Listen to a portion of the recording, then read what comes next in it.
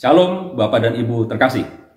Ulangan pasal 24 ayat 17 sampai 18 menyatakan demikian. Janganlah engkau memperkosa hak orang asing dan anak yatim. Juga janganlah engkau mengambil pakaian seorang janda menjadi gadai.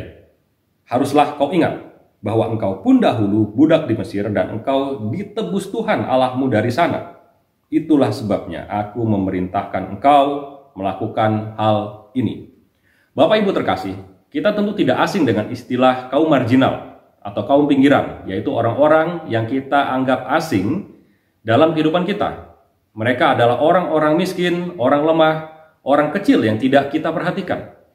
Tidak bisa dipungkiri, kadang seseorang menilai orang lain dari apa yang dipakai. Apa mobilnya, bagaimana dia berpakaian, dan hal fisik lainnya yang melekat di tubuh kita.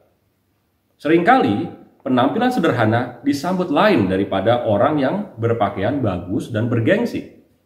Secara tidak sengaja, di beberapa tempat ditemui orang-orang Kristen pun melakukan hal yang sama.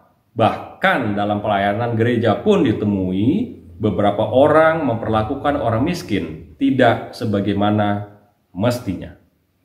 Kenyataan di masyarakat, orang kaya lebih dihargai daripada orang miskin. Seringkali orang miskin bahkan menjadi bulan-bulanan orang kaya untuk tujuan tertentu. Tuhan Yesus tidak demikian. Ia sangat kaya tetapi rela miskin karena kita. Hal ini menunjukkan betapa Tuhan Yesus sangat peduli dengan orang-orang miskin. Bahkan kalau kita simak pelayanan Tuhan Yesus sekitar 2000 tahun yang lalu, lebih banyak bersentuhan dengan orang-orang miskin. Tapi ini bukan berarti Tuhan anti dengan orang kaya. Tuhan Yesus pun juga melawat orang kaya, sebab ia tidak membedakan status sosial seseorang. Tetapi sering kali orang miskin menjadi perhatiannya. Renungan hari ini mengingatkan kita, siapa pun kita, miskin atau kaya, di hadapan Tuhan kita adalah sama. Dan kepada jemaat Tuhan, jika kita orang kaya, ingatlah akan saudara kita yang miskin. Hargai dan hormati bukan karena apa yang dikenakannya, tetapi karena mereka pun adalah saudara kita.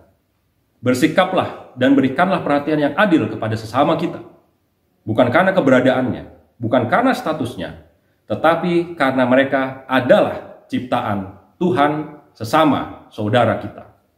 Tuhan Yesus memberkati kita semua. Amin.